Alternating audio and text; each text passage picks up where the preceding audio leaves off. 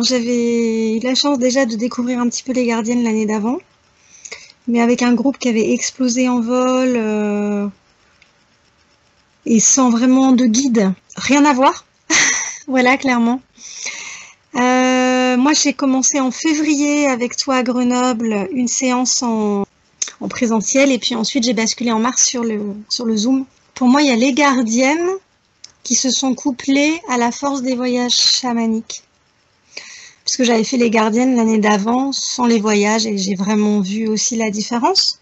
Parce que du coup, dans les voyages, euh, non seulement ça m'a permis d'être beaucoup plus en lien avec les gardiennes, c'est-à-dire de les rencontrer, de les voir et aussi de, de revenir avec des informations en fait parce que je trouve qu'il y a euh, comment moi je découvre la gardienne à travers les textes, l'invocation. Et puis il y a aussi quels sont les messages que je reçois en fait.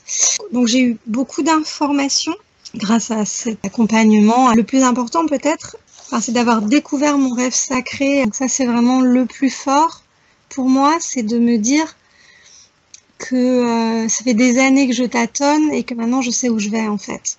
Ça, c'est, je trouve que c'est énorme. Voilà.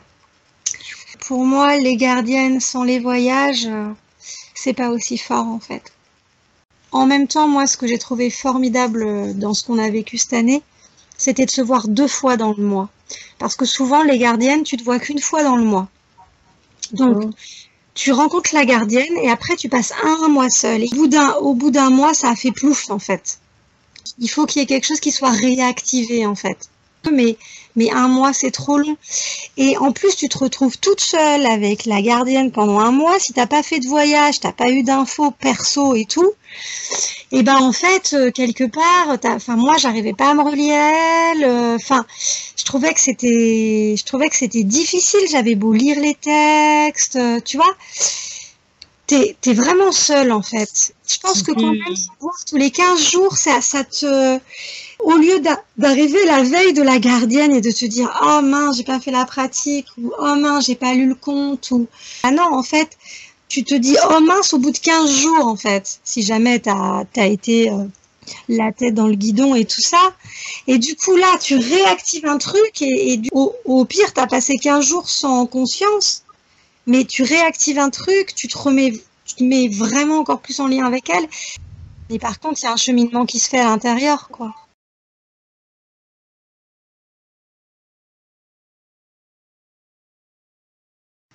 Alors pour moi c'est énorme et, si c'est pas fait, je pense que le travail avec les gardiennes n'est pas fait. En quoi c'est énorme? Je pense que les gardiennes, elles, euh, nous apportent 13 visions de la féminité, 13, facettes de la féminité en fait. Du coup, elles permettent euh, d'éclairer notre vie différemment, d'éclairer notre être différemment. Je pense que la, prise de conscience, elle vient, aussi de là, du fait que par rapport à notre vie, nos éclairages, au lieu d'avoir la tête dans le guidon, on a à un moment donné pour moi un éclairage. C'est comme si on pouvait faire un pas de côté, se décaler ou prendre de la hauteur pour regarder plus haut ou la gratitude, si on avait passé le mois euh, sans faire les pratiques ou bah ouais, voilà, on a lu un très beau texte et puis voilà, on s'arrête là en fait. Et finalement, ça, ne peut pas nous imprégner autant, ne peut pas vraiment nous, transformer, je pense.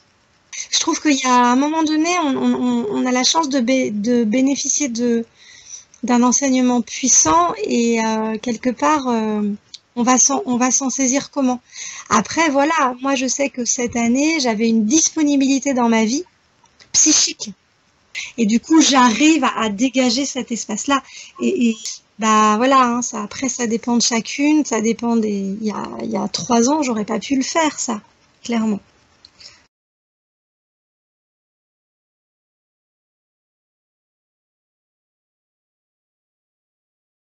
même si je me m'inscrivais dans ma tête toute l'année, comme j'ai fait cette année en fait finalement, mhm.